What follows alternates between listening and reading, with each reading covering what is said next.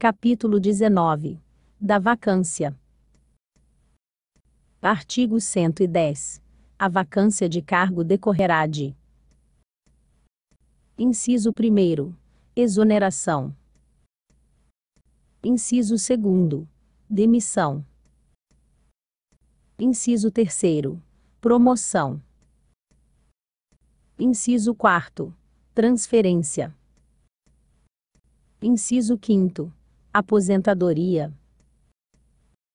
Inciso 6. Nomeação para outro cargo. Inciso 7. Falecimento. Parágrafo 1. Dar-se-á exoneração.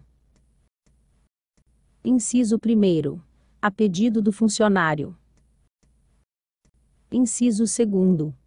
A critério do prefeito, quando se tratar de ocupante de cargo em comissão. Inciso 3. Quando o funcionário não satisfizer os requisitos do estágio probatório. Inciso 4. Quando o funcionário não entrar em exercício dentro do prazo legal. Parágrafo 2 a demissão será aplicada como penalidade e deverá ser precedida de processo disciplinar. Artigo 111. A vacância da função gratificada decorrerá de: Inciso 1. Dispensa pedido do funcionário.